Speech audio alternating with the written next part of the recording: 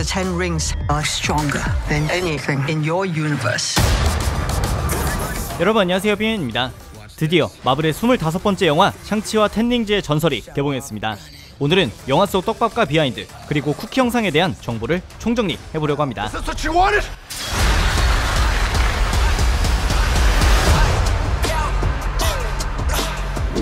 첫 번째는 샹치의 여동생 샤링이 운영하는 마카오의 불법 결투 도박장입니다.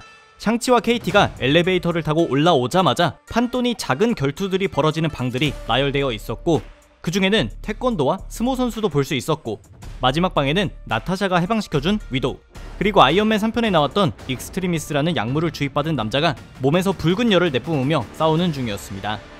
이후 가장 판돈이 큰 경기장에선 웡과 어보미네이션이 싸우고 있었는데 결투가 끝나고 꽤 친해 보이는 둘은 웡의 포털 너머의 어떤 공간으로 함께 넘어갑니다. 참고로 어보미네이션은 인크레더블 헐크에서 미군의 통제하에 특정 시설로 이동되었는데 그곳은 알래스카 북쪽 끝에 있는 도시 베로에 위치해 있는 특수 수감 시설이라고 에이전트 오브 실드라는 마블 드라마에서 확인되었습니다. 비록 이 드라마는 정확히 마블 시네마틱 유니버스라고 분류되지는 않았지만 어보미네이션에 대한 추가 정보는 마블의 공식 블루레이 수록 단편인 마블 원샷에서도 언급된 바가 있는데 They want Blonsky on the team. The abomination. They really don't like when you call him What that. about the Harlem incident? Blonsky's in custody in General Ross's sector.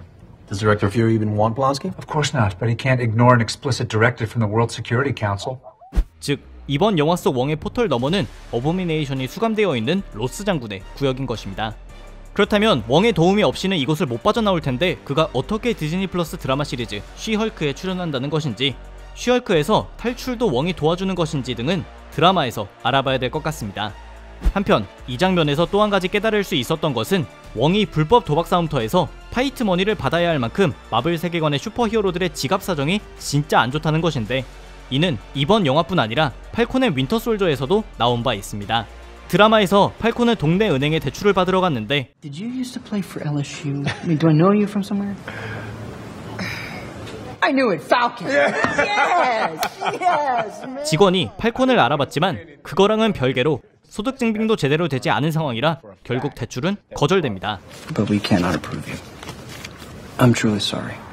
즉 지구를 구하는 것은 이들의 책임과 영향력만 늘어가는 행위인 것이고 블랙팬서나 아이언맨처럼 원체 돈이 많은 슈퍼히어로들이 아닌 이상 대다수는 자기 밥벌이랑 슈퍼히어로 일을 병행하고 있다는 뜻입니다. Welcome to Baskin Robbins. Would you like to try our mango fruit blast? 두 번째는 텐닝즈입니다.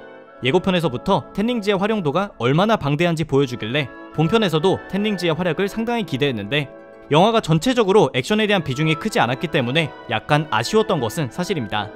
하지만 단순히 말도 안 되게 강력한 무기로서의 능력뿐 아니라 외누가 지난 천년이 넘는 시간을 살아올 수 있었던 것도 텐닝즈 덕분이었다는 점. 그리고 이에 대한 정보는 에인션트 원이 거주했던 카마르타지에 보관되어 있는 고대의 서적에도 기록이 없다는 점입니다.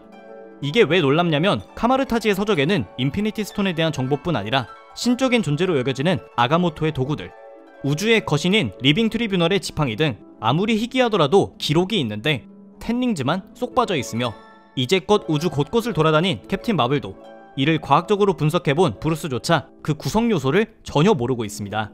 게다가 외누가 애초에 텐닝즈를 어떻게 획득했는지 그 속에 담긴 힘은 사용자의 노화를 막아주고 전투 도구로만 사용되는 게 맞는지가 앞으로 샹치가 텐닝즈를 사용하며 알아내야 할 점입니다. 세 번째는 마블 세계관에 새로 나타난 소재 용의 비늘입니다.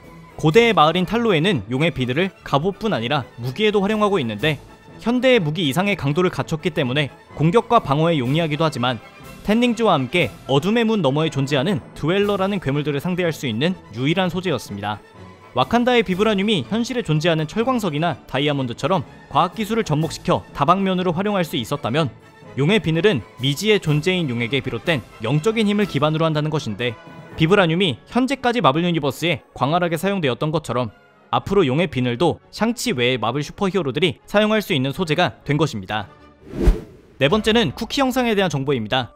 첫 번째 쿠키 영상은 캡틴 마블, 헐크인 브루스 배너, 웡, 샹치, 그리고 케이티가 모여서 텐 링즈에 대한 이야기를 나누는데 여기서 핵심은 텐 링즈가 미지의 도구라는 점, 그리고 지난 천년 동안 웬우가 사용할 때는 몰랐던 웡을 비롯한 다른 사람들이 샹치가 텐 링즈를 사용하자마자 카마르타지에서도 그 에너지가 느껴졌다 라고 언급하기도 하며 마지막으로 텐 링즈 깊숙한 곳에서 어딘가로 혹은 누군가에게 신호를 보내고 있다는 점입니다.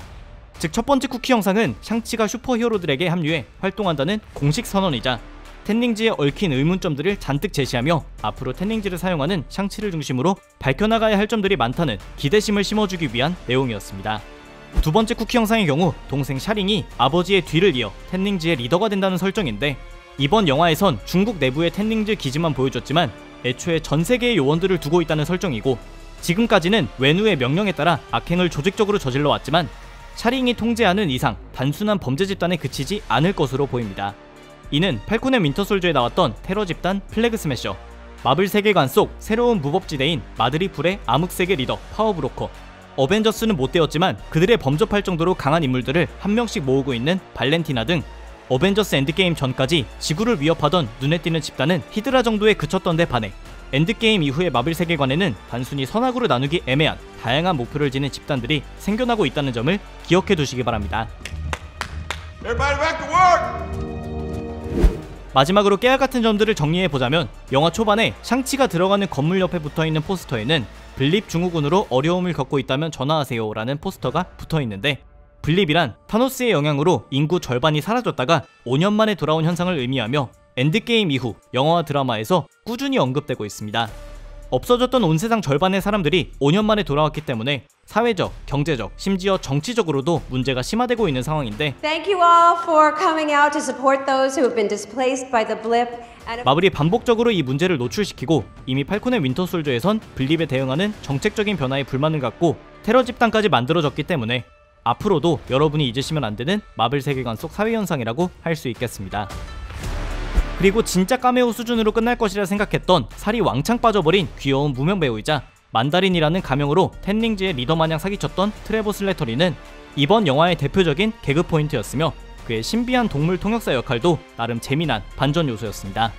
그리고 영화 초반에 샹치가 미국에 도착한 지 얼마 안 됐을 때 어떤 사람에게 야 거기 강남 스타일이라는 소리를 들었다고 하고 샹치는 나 한국인 아니고 중국인인데 라고 대답했다는 썰을 친구에게 들려주는데 많이들 아시다시피 샹치의 배우 시무리우가 대중적으로 얼굴을 알린 첫 작품은 캐나다의 드라마 김씨네 편의점이었습니다. 그가 맡은 배역은 캐나다로 이민 간 한국인 김씨의 첫째 아들 김정이었는데 그래서 샹치의 영상에 김씨네 첫째 아들이 렌터카 사업을 하다가 슈퍼히어로가 되었다는 댓글도 심심치 않게 볼 수 있습니다. 개인적으로 영화 샹치 속 시무리우의 국적을 확실히 해줄 필요가 있지 않나 하는 제작진의 의도가 담긴 장면이라는 생각이 들었고 노래방 장면의 경우 샹치가 원작에서도 한국계 미국인인 아마데우스 조 미즈마블과 노래방을 자주 가기 때문에 영화에서 그대로 살린 것으로 보입니다. 오늘의 샹치와 텐닝지의 전설에 대한 영상은 여기까지였습니다. 재밌게 보셨다면 시청과 댓글 그리고 구독도 부탁드립니다. 감사합니다. 지금까지 비맨이었습니다.